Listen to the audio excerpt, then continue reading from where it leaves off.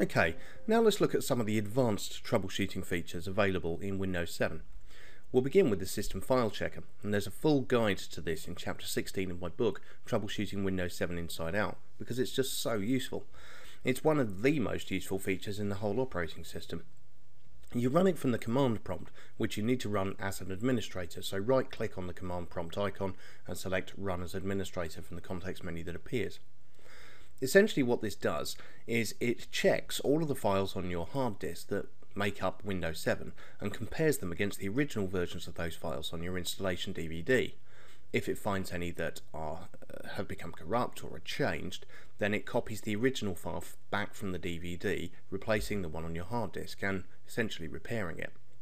It's done through one simple command, which you can see here, sfc space forward slash scan now, where scan now is one word. Now there's one caveat with the system file checker and that's service packs. If you have service pack 1 or service pack 2 installed in Windows 7 then you will need an integrated version of that self same service pack on your installation DVD. Now there are several ways to do this. Various pieces of uh, software uh, are available online such as RT7 Lite in order to be able to download um, download these uh, service packs into your installation DVD or there are there are other ways. There's a full guide in the book on how to slipstream a service pack into a uh, Windows 7 installation disk, but it's it's a bit of a faff. Um, but if you're an enterprise user um, and you have an MSDN, TechNet, or other subscription, you'll probably find that Microsoft will make available uh, an integrated uh, version of your installation DVD anyway that you can download. So the system file checker is absolutely wonderful, an incredibly useful tool, and a very, very quick and easy way of being able to repair Windows 7. Then there's System Restore. Now, many people wouldn't think of System Restore as an advanced tool, but I've included it here because there's just so many ways to access it these days. You can get to it in the traditional ways through help and through the control panel, but you can also access it directly from Startup Repair, and of course there's three different ways to get into Startup Repair as well as we've seen in the uh, previous in the previous part too. So System Restore is very useful. Uh, viruses can't hide at it in the way they used to be able to with Windows XP, and it's well worth leaving it turned on. Um, its biggest use I found is um, actually for rolling back problems caused by Windows updates and uh, driver updates that have come through the Windows Update service itself. When you think about it, Microsoft have got to support billions of PCs, none of which are the same. So you're going to get driver updates and Windows updates that on occasion are going to cause a problem. And it's uh, a great way of being able to roll back through uh, Windows Startup Repair to uh, before those updates were installed. Then there's the Problem Steps Recorder. Now this began life as a tool in the Windows 7 beta just to help beta testers give Microsoft more information on problems with the operating system when it was in testing. And it was so well received that Microsoft bowed to pressure and kept it in the final release of the operating system. Now you won't find it in the um, management console, you won't find it in the start menu. The way to get to it is to type PSR into the search box in the start menu. So what does the problem steps recorder do? Well, every time you click on something, when you're recording, every time you click on something or every time something changes on the screen, the problem steps recorder will take a screenshot. It will annotate that screenshot to highlight the area of the screen that is changed or the area that has been clicked. In addition to these uh, screenshots, with each one it'll provide information directly under it in text on what's running at the time, what is happening, and it'll provide all sorts of extra useful information. And it will save all these screenshots together with all the text descriptions in essentially a zip file that can be read later, read on a different PC, emailed to a support person, um, and so on. And it's uh, a wonderful tool for being able to see exactly what it is that a user is doing on their computer when a problem occurs. So again, as I said, you access the problem steps recorder by typing PSR into the search box in the start menu. Now, I'd like to talk a little bit about advanced startup repair. Now we've looked at the general startup repair options, the automated ones, system restore, system image recovery. Um, but there's a command prompt um, option available with startup repair, and uh, this is what I want to look at here. Now, there's all sorts of things you can do with the command prompt, um, especially those of you familiar with DOS commands, but there are some new ones as well. And here is a, uh, a short video I'd like to uh, to look at how we can use this command prompt scripting environment to repair all of the boot files in Windows when Windows itself can't start.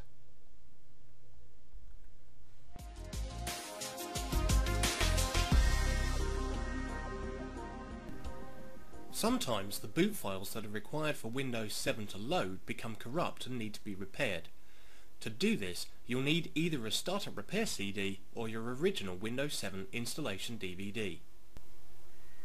A Windows Startup Repair CD or DVD will take you straight into the Windows Startup Repair options, but if you're running the Windows 7 installation DVD instead, click through the first option, where you're asked which language you want to install in, and at the next page, instead of pressing the Install Now button, click the Repair Your Computer link. Once you're presented with the System Recovery Options menu, you'll want to click on Command Prompt. It's here that we'll be able to type the commands we need to rescue the boot files in Windows 7. Once you get to the command prompt, you now need to type the following commands in order to repair the boot files in Windows 7. This first command creates a backup of the Windows 7 boot menu. You can use this command with the import switch later on if you need to restore that backup. Now we need to navigate to the hard disk on which you have Windows 7 installed. In this case we'll assume it's the C drive though on your computer it might be different. Once on that drive we need to navigate to the boot menu.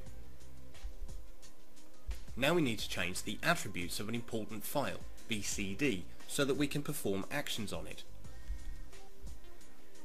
This command renames that BCD file to bcd.old to create a backup. You can also rename the .old file back if you need to restore that backup. Finally, we use the bootrec command with the rebuild BCD switch. This rebuilds all the boot files for Windows 7. There are other switches you can use with the bootrec command that you may find helpful. FixMBR can be used to write a new master boot record in Windows 7. FixBoot will write new boot sector to the disk. And ScanOS can be used to search for any Windows installations on your computer. There's also the BCD edit command, which is used to edit the boot menu. So that's how we can repair corrupt boot files in Windows 7.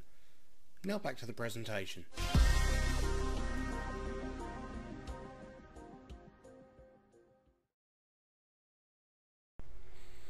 Okay, now let's have a look at safe mode. Now, most people will be familiar with safe mode that you can access by pressing the F8 key to get into the boot options after the BIOS screen disappears but before the Windows logo appears when you're starting the computer.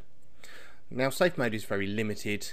Um, it will start the computer without any third-party services, drivers or software running. You have uh, limited networking capability. The screen resolution is set to its lowest. But there is an alternative. And this is the Safe Boot Diagnostic mode. Now you access this through the System Configuration panel, which uh, you find by typing msconfig which is one word, into the search box in the Windows 7 Start menu. Now you'll see under the boot tab here there is a safe boot tick box. If you tick that, we've got several options here. If you select minimal, you'll just get into safe mode as you understand it, but there's uh, different options. Now by default, just by ticking the safe boot mode, we'll get a, uh, a boot scenario where you have your full screen resolution, you have um, driver support, but things like third-party services won't run, and uh, you can do you can perform diagnostics without uh, worrying that uh, things that were normally running in the background will cause problems. When you're finished with safe boot mode, then just remember to untick the box, go back into the system configuration panel and untick the box to get Windows to boot normally after that. Now let's have a look at device drivers. Now I've talked previously um, a little while ago about how device drivers can cause all sorts of problems. Now there are various things that you can do to uh, troubleshoot device drivers so let's have a look at them. The first thing is to roll back a driver. Now you can do this by right clicking on the driver itself, selecting properties from the context menu that appears and if that driver has been upgraded and there is a, a previous version that's been stored, you can press the roll back driver button in the uh, dialog window that appears. Now, if uh, you've only had one driver installed for this device, then it won't allow you to do that. But if you've updated a driver, for instance, and it's causing a problem, you can roll the driver back to the previous version. You'll see here with figure number two that if you want to uninstall a device, with some devices, many of them, but not all, you'll see a little tick box here for deleting the driver software for the device. One of the biggest problems with previous Windows versions is that if you had a faulty uh, Windows driver, then when you uninstalled it, the driver would still be there on your hard disk unless you went in and, and did a fiddly process to remove it manually and when you go to reinstall there was a danger that the faulty driver would be reinstalled. Now if you tick this box then all of that all of that uh, those driver files will be deleted from your hard drive and there won't be any chance that they can be reinstalled accidentally.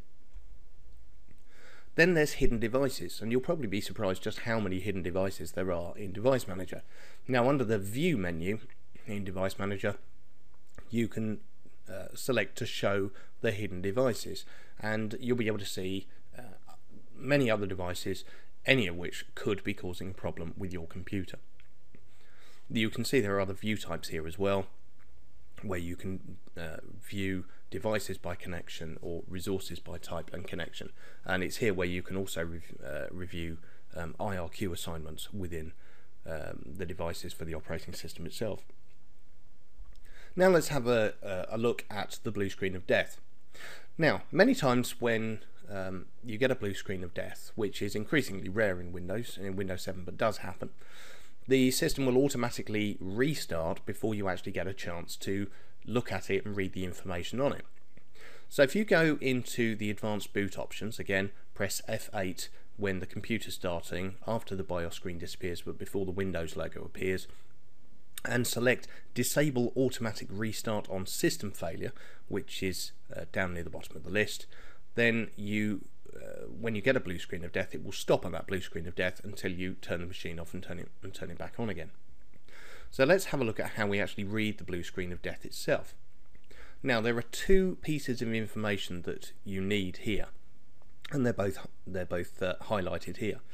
One of which the top one is the error name the bottom bottom one is the stop error code. And there's more information after this stop error code as well. Now you'll see further down there just under the stop error code there's information on an actual driver that has um, uh, crashed in this case SP, uh, spcm dcon.sys and uh, you'll want uh, that information that that's useful information. But these two main bits of information are your your big clue. And with this information, you can uh, look up the uh, blue screen of death online and get more information on it. Now you try and, you want to try and get as much information from the blue screen of death as you can because the stop one stop error code can cover a whole range of different things. And uh, and uh, it's important to have as much information as you can. Okay, so that's the advanced utilities, and in part 4 we're going to have an in-depth look at the power utilities available for troubleshooting Windows 7.